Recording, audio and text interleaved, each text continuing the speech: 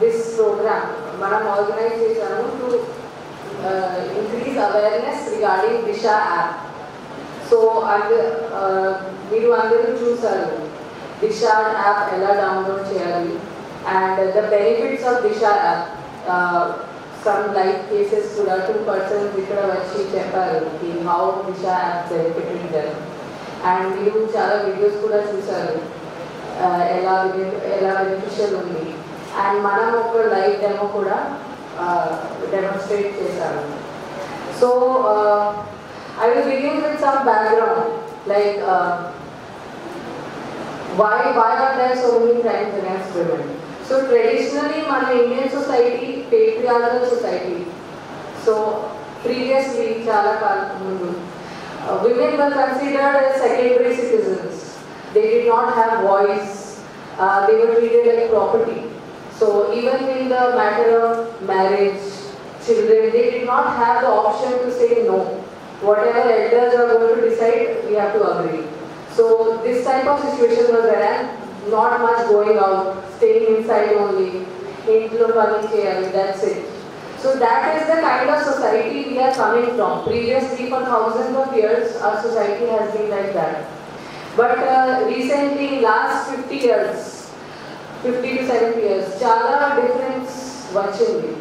So now, because of education, because of awareness, women are coming out, they are getting educated, they are taking up jobs, uh, they have a say in marriage. He, uh, without their consent, people are not getting married. So, chala marku vachindi. But the transformation is not complete yet. So we are in the middle. Lot of persons have uh, transformed their thinking, uh, both male and female. Now they believe that uh, women are respectable citizens, they have dignity, they have rights, one voice only, and you have to respect what women are saying. But at the same time, ఇప్పుడు చాలా మంది ఇలాగే కూడా ఉన్నారు who have this backward thinking, who do not respect women, who do not believe that women have a voice. They feel that women are objects. So we are uh, living in a society which is in under transformation. So because of that, uh, there is a lot of threat to women.